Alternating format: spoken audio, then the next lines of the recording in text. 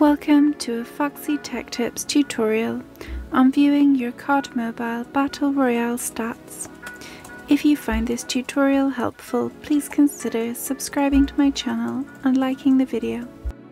Finding your BR stats is easy. From the main dashboard of COD Mobile, tap your name from the top left of the screen.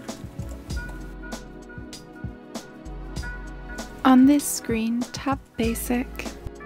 On the Basic profile page, tap the box with the icon of an airdrop crate. This is the Battle Royale stats.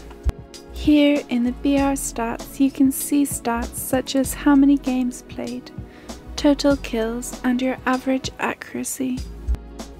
And that draws an end to this tutorial. Please like the video if you found it helpful and subscribe to Foxy Tech Tips for more COD Mobile tips and tricks.